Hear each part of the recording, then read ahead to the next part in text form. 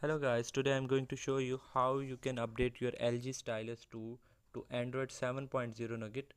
I have already updated my LG Stylus 2 to Android 7.0 Nougat. Now I'm going to show you how you can also update your LG Stylus 2 to 7.0 Nougat. Uh, let me show you first uh, I have already updated my smartphone to 7.0 here you can see in software information. Here you can see android 7.0 version officially uh, which was officially released.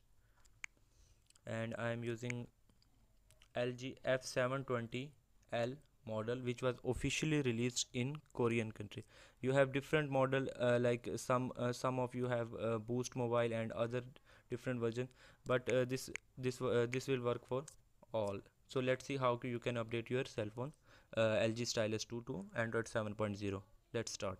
Download and install LG Bridge software. Type LG Bridge.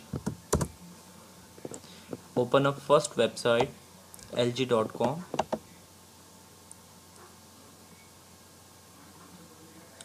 here you can see download links of Mac and Windows version uh, I have uh, Windows version so I have already installed Windows version. You have to download and install it. Click here to download and then install it.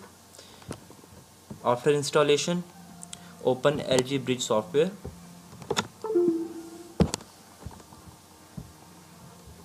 Now connect your LG Stylus 2 with laptop or PC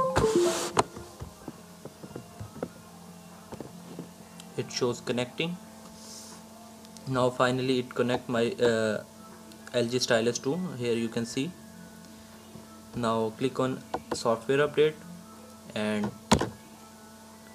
now it checks for uh, software update. I uh, so I already have an Android 7.0 it, it does not show me it will not show me uh, another update. So when you click here when you click here uh, it will show, uh, it will update your cell phone to Android 7.0 thanks for watching. Don't forget to hit uh, the subscribe button